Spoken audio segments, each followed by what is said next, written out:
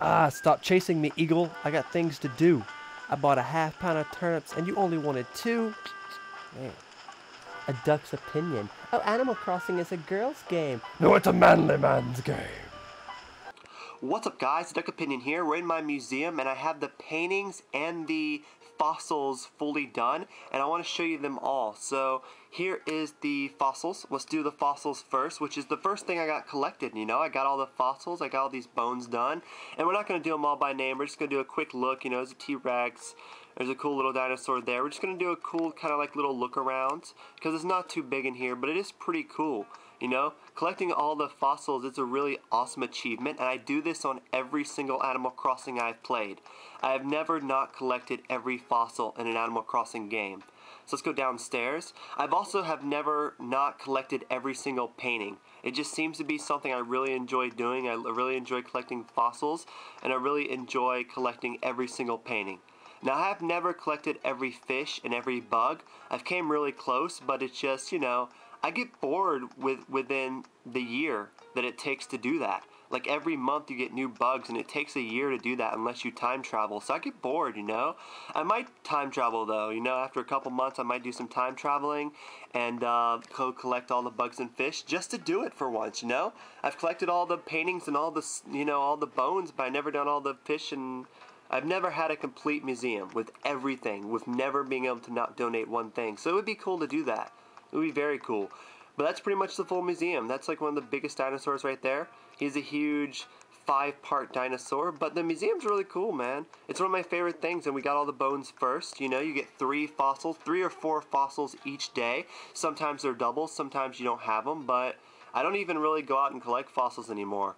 You know, it's just something I don't do because there's no need to.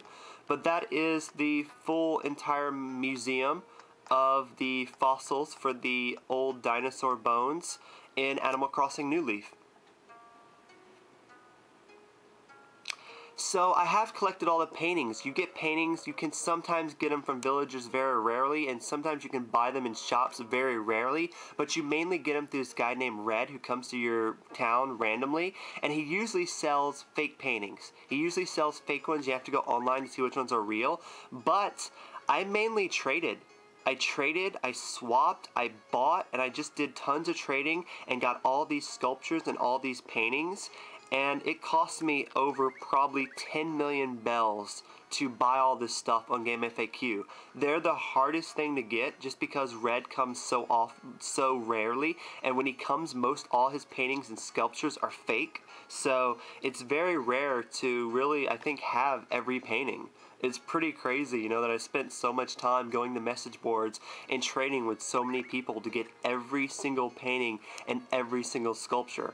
So it's pretty, it's a pretty amazing feat and it's something that I am very, very proud of, and I'm very proud that I can show this off to people, and you guys can see what you might be missing, maybe, you know, if you guys see something on here, you can look it up, but I'm very proud of what I've done with my bones, and with my paintings, and of my sculptures. I got them all, it's like Pokemon, I'm, I'm, I'm very proud of myself for getting all these paintings, sculptures, and the bones, like the bones were a lot easier, you know, you get four each day, they might be the ones you already have, but you get four each day, you know, you'll eventually have them all.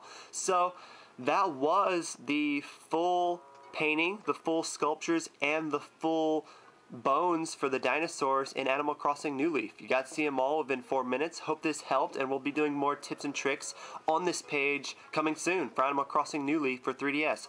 Hope you enjoyed it. I enjoyed making it, I enjoyed collecting it, and I enjoyed showing it off. We'll do more soon. Thank you guys so much for watching. Give it a thumbs up. Dust can fly. Peace.